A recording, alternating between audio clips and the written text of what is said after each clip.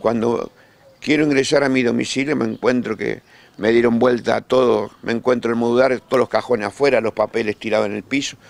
Me voy para la habitación, la habitación la ropa, zapatos, todo, bueno.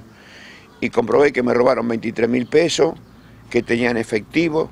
Yo sé que me vinieron a robar el efectivo porque no, acá hay otras cosas, otros electrodomésticos, no me tocaron nada de nada.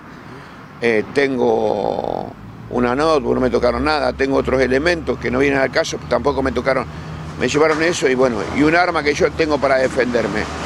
Eh, este es un barrio muy popular, muy conocido, eh, estoy entre dos avenidas muy importantes, pero bueno, yo antes vivía acá a 50 metros, también una vez me entraron y me robaron. Eh, la policía ni anda, acá pertenece a la Quinta de policía, no se ven nunca, entonces yo y me hago cargo de lo que digo, porque soy un tipo muy frontal. Digo que si no pueden estar al frente de una comisaría, que pongan una farmacia, una verdulería. No sé si estoy marcado, pero yo estoy acá, salgo a la puerta, sé que soy una persona popular y que pasa todo el mundo y todo el mundo aquí en el barrio sabe quién, que vivo yo aquí. Eh, a lo mejor fue algo al voleo, pero mucha casualidad y lo hicieron en muy poco tiempo. Creo que eh, tuvieron miedo.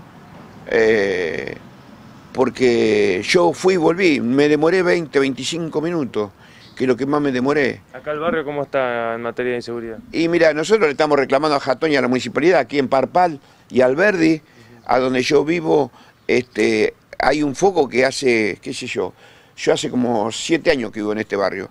No lo arreglaron nunca. Vienen con, vienen con los, los camiones, revisan, hay una cuadrilla de 8, 9, 10 personas de la municipalidad y nunca lo arreglaron. Entonces yo tuve que poner focos grandes en la puerta de mi casa para que esté iluminado. Falta de, la presencia policial, más presencia policial. En época de pandemia iban todos los días no pasaba nada.